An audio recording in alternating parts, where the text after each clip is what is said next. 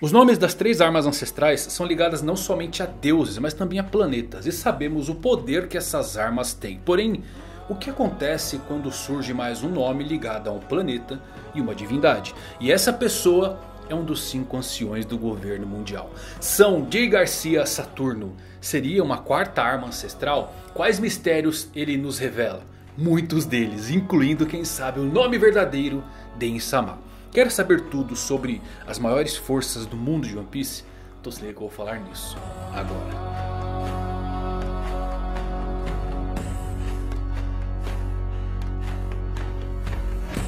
Fala galera, eu vou trufuzar aqui mais um vídeo pra vocês, como é que vocês estão? Espero que todos vocês estejam... Ah, vocês estão, fala a verdade. Que capítulo foi esse? Não dá, né? Não dá, né galera? 20 anos esperando pra aparecer uma figura e o nome de um dos anciões e finalmente foi revelado. Só que ele traz muita, muita, muita informação. Sério, assiste até o fim esse vídeo porque vai explodir a sua mente, tem muita coisa legal. Se você é novo no canal, aproveita pra se inscrever. Se você já é da pior geração, o que que faz? Dispara o like pra dar uma força pra esse vídeo já. E agora com vocês tudo sobre o One Piece 1073.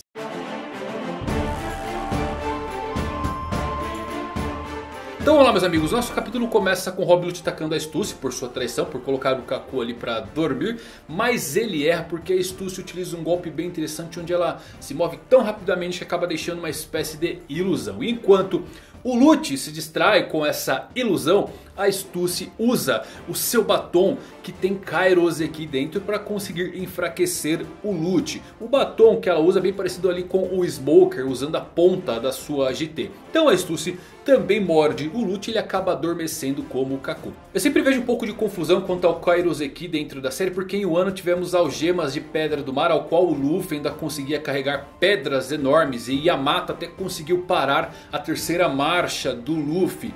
Como o Lute, um zoando esperto, cai para um pedaço tão pequeno de pedra do mar escondido dentro de um batom? Bom galera, se lembrem que o ano é o lugar de manufatura de Kairoseki, a pedra do mar. E lá eles conseguem diluir esse material, ou seja, as algemas do Luffy, de Yamato, do Kid, eles tinham menos pedra do mar, o que permitia que o Luffy se movesse até lutasse, mas impedia o uso da sua fruta e do seu Haki. Lembrando que pedra do mar não afeta Haki, e sim o usuário do fruta ao ponto dele não conseguir focar a sua vontade para conseguir usar esse poder. Com Kairos aqui a 100%, como esse batom, a ponta da GT ou um prego um pedaço muito pequeno disso é suficiente para parar qualquer usuário de fruta. Mas bem, então descobrimos que a pessoa misteriosa com quem Vegapunk falou ao telefone era assim a Stussy. Que não era a intenção do Vegapunk que ela se tornasse um membro da Cip Zero. Mas acabou acontecendo. Vou ser sincero, eu tinha minhas dúvidas aqui se era a Stussy realmente a pessoa que o Vegapunk tinha ligado. Porque ela literalmente estava do lado do Lute o tempo todo para conseguir atender esta ligação do Vegapunk sem ser notada. Então no fim das contas meus amigos, nada de Scoppergabana. nada, por enquanto não. O mais legal aqui é que o Lute e o Haku foram espiões por anos em Water 7 e traíram seus companheiros. Agora um deles os traiu e é alguém que estava disfarçado por 5 vezes mais do que o tempo que eles passaram em Water 7. É isso que eu chamo de karma. A Stussy diz ao Vegapunk que não pode substituir a ordem do Lute de parar os Serafins. Porque ela está no mesmo nível de Lute na hierarquia de comando de autoridade. Com isso Lilith e Edson Vegapunk saíram do laboratório para tentar parar o ataque dessas armas. S-Hawk ataca a Lilith antes que ela dê a ordem para parar. Mas o Zoro o impede com uma cena muito aguardada por todos. Eu espero que continue um pouquinho mais essa luta, né? Porque ela é bem rápida, mas ainda assim bem legal de se ver. Que o Zoro até não parece impressionado ao ponto de sugerir que ainda sente humanidade no jovem Mihawk. Isso é muito legal porque pode ser o Zoro aqui sugerindo que o verdadeiro Mihawk em batalha é mais desumano do que um serafim. Por fim, Edson conseguiu dar a ordem e todos os serafins param de atacar restabelecendo a ordem momentaneamente. Luffy e o Chopper estão correndo pelo laboratório tentando encontrar o verdadeiro Vegapunk porque ele e Bonnie desapareceram e tenho certeza que quando eles surgirem nos próximos capítulos saberemos a história de Kuma. Mas vamos então para a ilha Esfinge, terra natal do Barba Branca e o local onde Marco a Fênix reside e guarda com sua vida. É revelado que os fuzileiros navais chegaram à ilha Esfinge enquanto o Marco estava no país Deuano. E esses marinheiros não eram tão leais assim aos seus deveres e funções e começaram a ameaçar os moradores para eles entregarem o tesouro de Barba Branca. Mas de uma reviravolta para lá de interessante, Eduardo Weevil chegou e protegeu a aldeia. No entanto, o Weevil acabou sendo capturado pelo almirante Aramaki. E agora temos Marco com Miss Baking e ela pede que o Marco traga seu filho de volta e lhe entregue a herança do Barba Branca. Eu me pergunto galera se esse Capitão Ratel da Marinha não é parente do Nezumi. Lembram dele lá no arco do Arlong? Bom, faria muito sentido já que ambos são marinheiros com esse tema de roedores que são canalhas gananciosos. Mas vamos lá. Miss Baquin é então apresentada definitivamente. Isso nos diz muita coisa. Ela é Miss Buckingham Stussy, ex-membro dos Piratas Rocks, autoproclamada cientista e aproveitadora dos Meds. Por que isso aqui é muito revelador? Porque ela se autoproclamar cientista nos diz sobre o limite do seu conhecimento científico. O nível aí que gerou seu filho Weevil. Como ela se aproveitou dos Meds, certamente roubou algumas pesquisas deles. Como ela reforça que o Weevil é filho de Edward, Talvez ela tenha realmente gerado o Evil na sua barriga. Eu creio que ela já foi apaixonada pelo Barba Branca. E isso que gerou ela a tentar fazer esse filho dele. Eu realmente acho que o Evil é um fruto da ciência. Porque o Barba Branca ele sempre quis uma família. Eu acho que ele nunca negaria um filho biológico se ele fosse real. Outro ponto legal aqui é que Edward Weevil é na verdade uma boa pessoa em seu coração. Mas também é uma pessoa de mente simples. E é por isso que ele é facilmente manipulado pela sua mãe. Vemos isso com Weevil protegendo a aldeia natal do seu pai. E não só isso, ele até queria ir matar o Barba Negra pela morte do Edward. Então ele é muito ingênuo. Ele não parece que vai ser uma espécie espécie antagonista, e sim mais um jogador que você vai acabar se apegando, gostando pelo seu jeitão engraçado e simples. E o melhor de tudo, se o Evian for para Impel Down, ele é a chave da vez para conseguir libertar Bonchan, quem sabe do Flamengo também. Falando do Flamengo, galera, esse capítulo me traz uma vibração estranha que eu queria compartilhar com vocês, porque eu tenho a sensação de o que estava bem implícito na história de Dressrosa tem um escopo maior. Foi mostrado novamente aqui. A história de Dressrosa era sobre piratas que suplantaram a realeza de um reino. E aqui com Ratel, o governo mundial é diretamente comparado aos piratas mais uma vez, pilhando ilhas. Implicando o que sempre sentimos ao longo da história, que talvez um dia a própria marinha e o governo mundial já foram originalmente piratas. Quem sabe eles substituíram a realeza original desse mundo e se estabeleceram com uma nova autoridade se autoproclamando os deuses. Piratas são maus, os marinheiros são justos. Esses termos sempre mudaram ao longo da história. As crianças que nunca viram a paz e as crianças que nunca viram a guerra têm valores completamente diferentes. Aqueles que estão no topo determinam o que está errado e o que está certo. Este mesmo lugar é um terreno neutro. Justiça irá prevalecer, você diz. Mas é claro que vai, afinal, quem ganhar esta guerra torna-se a verdadeira justiça. Isso se encaixa perfeitamente nessa citação épica de Do Flamingo sobre a história sendo escrita pelos vencedores. Outra coisa legal aqui é a força do Almirante Aramaki, hein galera. Aparentemente Green Bull é forte o suficiente sim para capturar alguém com a força de um imperador. O Evil foi considerado comparável ao jovem Barba Branca que todos conhecemos ser comparado em força a Gold Roger. Então ele é muito poderoso contra qualquer lutador, obviamente no 1 um contra 1. Um. Por isso ele não lutou com Shanks, Chapéu de Palha, Povo de Wano. E olha só, conhecendo Oda, eu tenho a sensação que a próxima vez que a gente ver o Evil, ele vai parecer o jovem Barba Branca mesmo, porque ele lutou com o Aramaki. E o Aramaki vai deixar o Evil mais magro.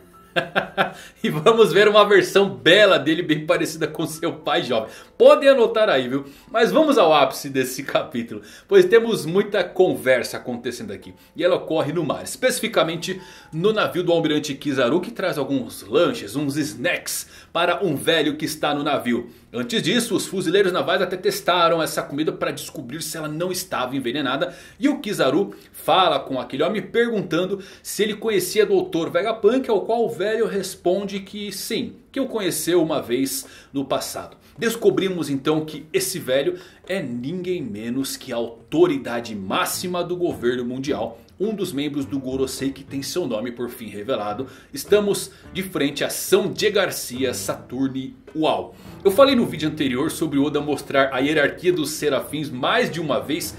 Como se ele quisesse sugerir que nos lembrássemos que o Gorosei estava sempre acima de todos. E até disse que poderíamos ter um dos membros do Gorosei chegando à ilha. E não é que isso aconteceu mesmo, nem eu esperava essa. Mas que loucura né galera, 20 anos desde a sua primeira aparição e finalmente temos um nome para uma estrela anciã. E o mais legal de tudo, ele está indo para uma ilha cheia de piratas enquanto o Akainu tem que ficar atrás de uma mesa.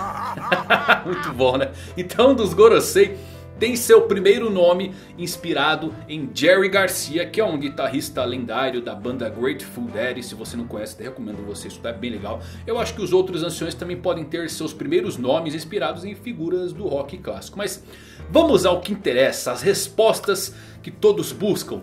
Por que um dos Gorosei está indo em direção para a ilha de Egghead? Serafins? Vegapunk? Bem provável. Eu acho que é um pouquinho mais que isso também. O motivo é Luffy e a sua fruta Denika. O Gorosei já sabe que esta fruta foi despertada. Eles estavam prestando muita atenção na luta do Kaido e do Luffy. A foto Denika foi colocada no pôster de recompensa do Luffy por engano. Creio que é por isso que os Gorosei foram estimulados a entrar em ação. Porque eles não têm nenhum outro recurso contra um Nika desperto. Obviamente que ele pode estar contando com o Kizaru para protegê-lo. Afinal é isso que almirantes fazem. Ou alternativamente o que ele diz no final ali. Eu lamento que tenha chegado a isso. Pode significar eles planejam apagar Egghead do mapa como fizeram com a ilha de Lulúzia. Essa batalha aqui vai decidir também se os Serafins vão acabar com o governo mundial ou vão seguir Luffy. O que eu espero que aconteça porque se eles forem com Luffy vai quebrar a balança de poder. Só que o Saturno vai sim tentar pegar os Serafins para manter aqui a ordem mundial. Agora qual a parte misteriosa aqui? O nome de J. Garcia, Saturno, é muito revelador. Porque o nome dos outros quatro anciões também devem ser de planetas. Gorosei se traduz como cinco estrelas anciões. Mas qual é o plot twist aqui? O kanji para estrela usado por Oda faz parte da palavra japonesa para planeta. Legal né? Portanto faz sentido que eles recebam nomes de planetas do sistema solar que combinaria perfeitamente. Se excluirmos a Terra e incluirmos Plutão, são oito planetas. Ou seja, três armas ancestrais e os cinco Gorosei. Um fato muito importante que é bom lembrar galera. Quando Oda começou a escrever a série de One Piece, Plutão ainda era considerado um planeta. Coisa que hoje em dia não é mais. Então ainda é válida essa conexão de Plutão com o planeta. Com o nome deste Gorosei, podemos teorizar o nome dos outros quatro. As armas antigas estão relacionadas com esses três planetas. Uranus, que é Urano, Poseidon, o planeta Netuno e Plutão, que é Plutão. São três planetas que inclusive não são visíveis a olho nu. Os cinco podem ser vistos da Terra. Marte, Júpiter, Saturno, Vênus e Mercúrio. Como um deles já foi revelado como sendo Saturno, os outros devem seguir este esquema de nomenclatura. E isto me faz pensar, e se há muito tempo atrás não fosse cinco planetas anciões, e se fossem oito, e se os três restantes tivessem os poderes de cada arma ancestral e algo acontecesse com eles. Se os cinco planetas anciões receberam o nome de nossos planetas do sistema solar, não poderia haver uma chance de termos um total de oito armas ancestrais? Nada impede isso. Os cinco anciões seriam as outras cinco armas ancestrais. Então todos eles podem ter algum tipo de poder sobre uma arma antiga ainda não revelada e desconhecida. Mais ainda, o nome de Insama galera pode talvez ser descoberto aqui se seguirmos essas dicas. Sempre falamos sobre Insama ter algo a ver com o mar, afinal ele é chamado Imu. E seu nome ao contrário, Umi significa literalmente mar em japonês. Vegapunk revelou que o mar é o pico máximo, a mãe natureza por si só. E por isso usuários de frutos não podem nadar, porque a mãe natureza, o mar rejeitou esse poder antinatural das frutas do diabo. Onde eu quero chegar aqui? Se temos armas ancestrais e o Gorosei com nome de planeta, Insama seria Terra. Porém sendo chamado com o nome divino de Gaia, que na mitologia é conhecido como a Mãe Terra. Minha cabeça está explodindo aqui galera. Gaia pode ser o nome de Insama. E se Insama até controla Uranus, as coisas fazem mais sentido ainda. Afinal, na mitologia, Urano é o ancestral de todos os outros deuses. Que conexões interessantes, né? Ainda mais quando você para para pensar em como Oden sabia que uma nova geração de piratas iria surgir em 20 anos do seu tempo? Olha que ideia maravilhosa. Lembram que eu falo que a astronomia pode ter sido utilizada para essas previsões que os piratas Roger leram na última ilha? Eu falo sempre do eclipse, da volta de Joy Boy que pode ser previsto por isso, a escuridão que antecede o amanhecer. Só que isto não explica como Oden sabia dessa nova geração de piratas. Quer dizer, não explicava. O nome de Saturno abriu minha mente para diversas possibilidades. A previsão da chegada dessa nova geração pode nos ter sido revelada há muito tempo.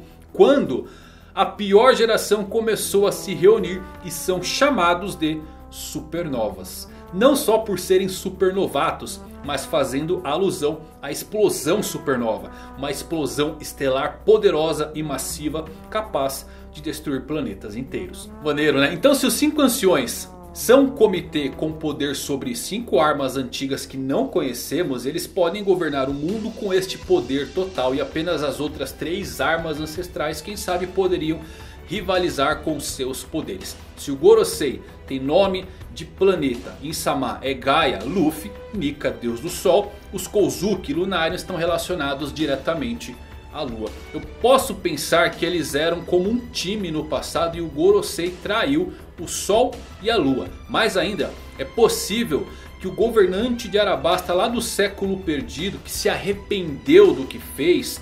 Talvez esse tenha sido o motivo deles não deixarem a sua terra natal. Porque isto poderia explicar um pouquinho das três armas ancestrais que restaram. Eu imagino que as três armas antigas representam as três famílias que ficaram ao lado do Sol e da Lua. Poseidon com os homens peixes que veneram inclusive o Deus Sol. Pluton com os Nefertiti que tem em sua bandeira o símbolo do Sol. E Uranus com os Lunarianos que receberam o nome diretamente vindo da Lua. O símbolo Kozuki que também representa a Lua e hoje guarda Pluton também tem algo bem parecido com o Sol. E se você olhar bem aqui no símbolo vai notar oito pontos orbitando o ponto central. Isso é uma das coisas mais legais de One Piece. Fala a verdade galera, o Oda ele é genial em como os personagens são usados em momentos perfeitos e faz você ter um entendimento maior da série. Temos visto cinco anciões mais ou menos desde o início da série e todo esse tempo eles sempre foram mostrados como essas figuras políticas com a mais alta autoridade do governo mundial, mas agora que um deles se movimentou, as coisas ficaram reais. E com isso você se pergunta, os cinco anciões devem ser poderosos? Se eles tiverem armas ancestrais ligadas, com toda certeza. Mas lembre, eles levam nomes de planetas, mas também nomes de divindades. Saturno está aqui para pegar o Serafim de Vegapunk, outro trufo importante. Mas eu também espero que ele, sim, ele tenha algum poder mais quebrado. Porque todos esses anciões aqui não são como Spandan, Orochi, eles são muito destemidos na frente de homens como Sakazuki e Shanks. Eles levam seus papéis muito a sério. Eles não são ridículos e mimados como os outros nobres mundiais. Nem mesmo usam capacete para não compartilhar o mesmo ar. Ele não estar usando inclusive o traje espacial é de longe a minha coisa favorita sobre toda essa situação. Porque diz muito sobre o calibre da pessoa. De modo geral, todos os Gorosei têm cicatrizes e são velhos. E se há uma coisa que aprendemos assistindo shonens japoneses é a regra de que personagens antigos são extremamente poderosos. Faz sentido quando você pensa sobre isso. Em séries onde o combate impera, só os fortes têm o privilégio de envelhecer.